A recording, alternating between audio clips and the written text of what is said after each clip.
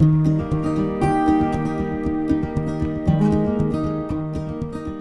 name is Euricka Darvy. Um, I work for Brandon Trust. I support many different individuals in many different ways.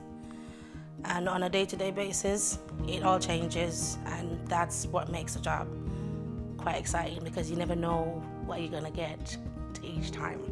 What I do for a typical week, it all ranges because it all depends on the individual that I'm supporting. There will be days where I'll be at a house that we have. Um, we do supported living and we have individuals that have different range of needs. It can range from supporting them with preparing their meals or taking them shopping or just someone to sit and have a chat with. In the house that I support, um, we have like sleeping so you know that our clients are always covered. They're always supported, even when they're sleeping in this house, they're always supported. So I have other clients that I will support. It's different with each individual. With this particular client, I have to take her all the way to college and take her back home. It's good to have that kind of closeness with them sometimes on a work level, but it's good when they actually feel close enough to you where they can talk to you if it's possible.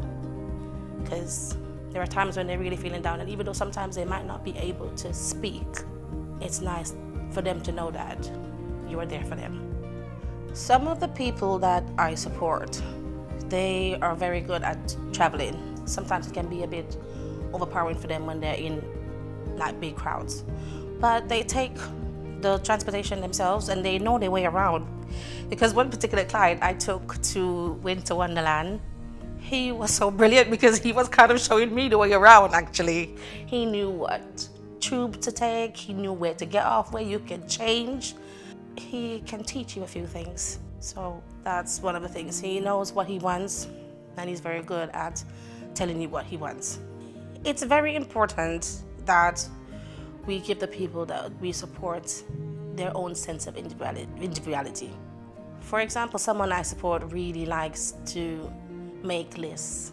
When he goes shopping, he has to sit down. We sit down and we work out a list together. For example, if there's a particular meal that he wants me to support him to prepare. We actually sit and we make that list and we know exactly what we're going to be getting. So he doesn't feel like he's being restricted to something that he might not want.